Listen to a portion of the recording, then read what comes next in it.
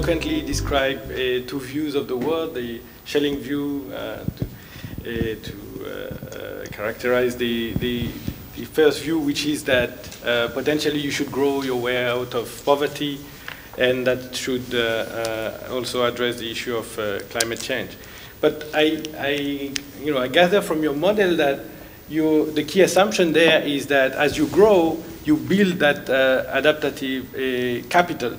So, uh, of course, if you assume that there's, uh, you know, by growing you're not, you know, th there's no assumption here that, uh, you know, growing, you know, in a way leads to uh, a buildup of adaptive capital, you get the conclusion that, of course, you need to do something about adaptation and build that stock separately from the way you grow.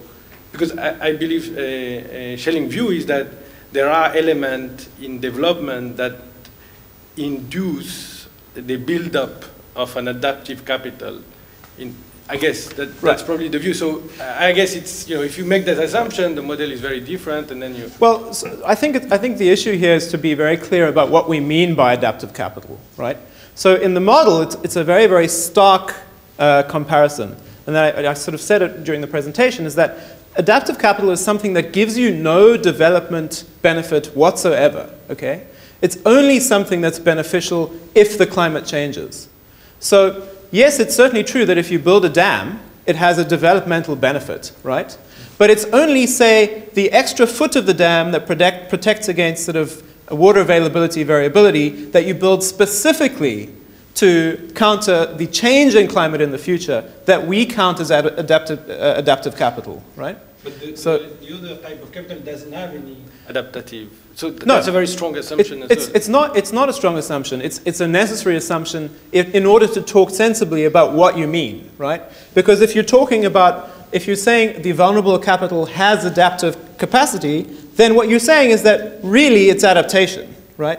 then you're saying that the, the that foot of the, of the dam is in fact adaptive capital. So it's a sort of difficult thing to get your head around because um, the capital is not actually different pieces of capital.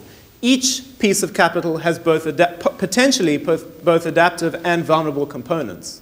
And we're talking about you know, how much of each of those things do we need. So it's not, I don't think it's correct to say that the vulnerable capital um, sort of has no uh, adaptive. I mean, the, the, the, key point is that when you make that distinction cleanly and you allow the model to choose those variables itself optimally, then the results are, make a lot of sense, right? Then it's really, you, are sort of getting at exactly the kind of trade-off that you, that you want to put into the model. Yeah. I turn to Finn, uh, maybe first. Thank you very much, uh, Finn Tarp WIDER. I, I mean, I, I, get your point. I mean, just for example, thinking about roads, right? I mean, you can climate-proof roads. Mm. That that would then, as I understand it, that would then be the adaptive capital that you're adding right. to the vulnerable right. capital, and, and, and, and then you're kind of trying.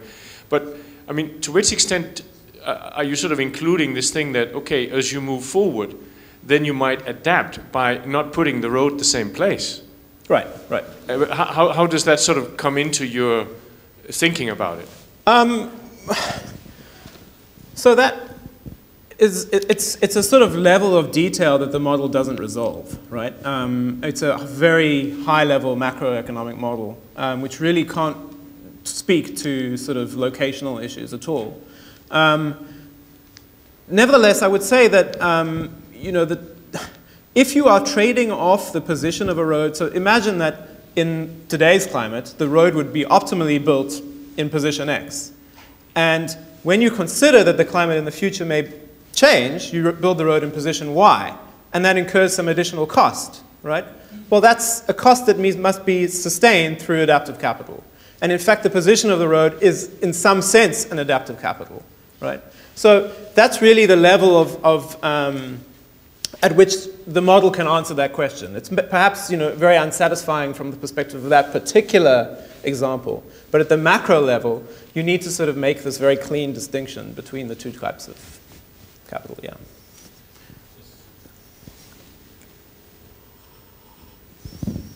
Um, following up on this question of adaptive capital, I understood your definition to be the kind of investment which uh, ascertains a protection in the future should mm -hmm. the climate change. Right, exactly. Okay.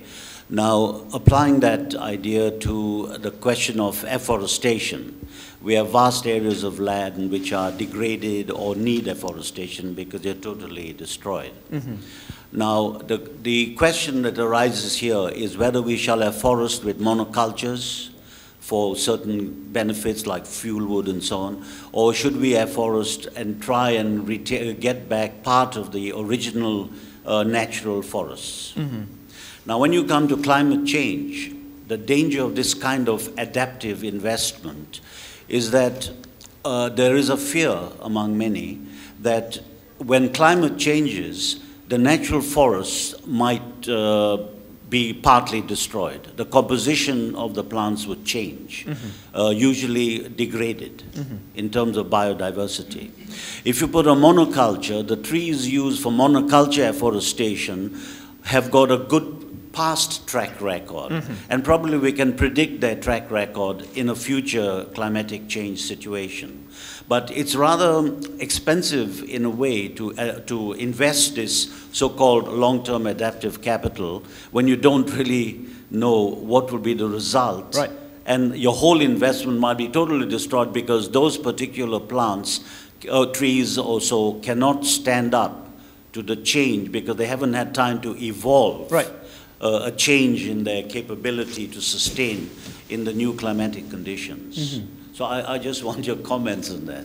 Well, I mean, I would say that it seems that the sort of core issues that you're raising there are issues to do with uncertainty, right?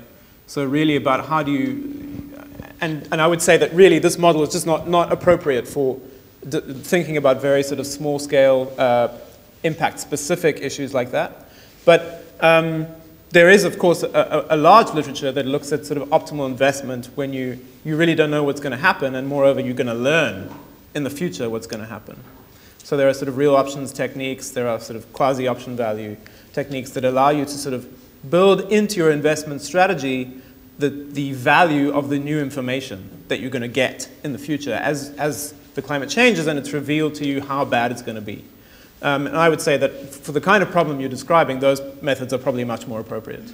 Um, now, it's, it's true that, as I said at the end, building uncertainty and irreversibilities and things like that into this kind of model would be desirable and would likely change some of the conclusions. Which way they would go, I really don't know. I mean, that's a, that's a sort of frontier of, of current research. Um, yeah, but I mean, I guess the short answer is that, you know, it's, it's just a, it's a mismatch of tools in this case. Yeah. Thank you very much. So we have time for one more question. Yongfu. Uh, I'm Young Huang from UNU-WIDER. Thank you very much, Tony, Antony. And I think your work um, is of great quality. And I have two questions. Um, I can see you basically modified the Ramsey model by introducing the adaptive capital in the temperature to the model. Um, so my first question is, could you roughly describe the balanced growth path of your model, as well as the equilibrium um, in uh, adaptive investment, adaptive capital, it is steady state. Okay. Now, second question, sorry, second question. I can see the, the concept um, adaptive investment is very interesting, which could be regarded as the climate finance for adaptation. But in, in your paper, you basically saying the change in adaptive capital is the, the difference, difference between the adaptive investment and uh, depreciation. And the, the change right, in the normal capital should be the difference between the normal investment and the depreciation as well. Okay. However, the normal investment has disappeared Could you describe the difference between these two? Okay, thank you. Okay, let me start with the last question. So the normal investment hasn't disappeared. We've just rewritten it using an accounting identity. So there's an identity between uh, investment, consumption, and output, and that's an identity that holds throughout time. And I've just written the equation in terms of the consumption control variable instead of the investment control variable. So you could write exactly the same model using an investment variable, and you'd get two equations that look identical, but then you need to enforce the accounting identity at every point in time. And it's just computationally and actually analytically easier to use the consumption control variable instead of the investment control variable. It's identical. So um, let me show you um, just quickly. Yeah, so, Antony, we, we have to wrap up, so okay. if you could make So on, on the, all right, so all right, so the point is that basically you get two equations that look exactly like that. One investment in uh, vulnerable, one investment in adaptive, but there's a, an identity that contains all the other terms, that, and, and it's an exactly equivalent formulation. The issue of steady states, you know, this is something that macroeconomists do a lot of. Um, they sort of write down a model like this and they forecast right into the infinite future and look at what happens in the steady state of the economy. Um, the issue with the climate problem is that it's completely irrelevant what happens in the inf infinite future. What you care about is the transition between today and the future, all right? So the infinite future is heavily discounted in the model. You really don't care about what happens. And moreover, it's the dynamic aspects of the problem. It's the fact that the, the, that the economy is adjusting dynamically to the change in temperature that's really interesting in this problem. So yes, you could linearize around, around the steady states and calculate it and look at the stability, but it's really immaterial to the actual policy question that you want to ask, which is what is the optimal dynamic trajectory of investment today and for the next 100 years? That's not a steady state question. All right. Thank you very much. I'm afraid this is uh, all, we, all the time we have for uh, questions. So I want to use that opportunity to thank the presenter and uh, to thank the audience for a very rich discussion. Thank you very much.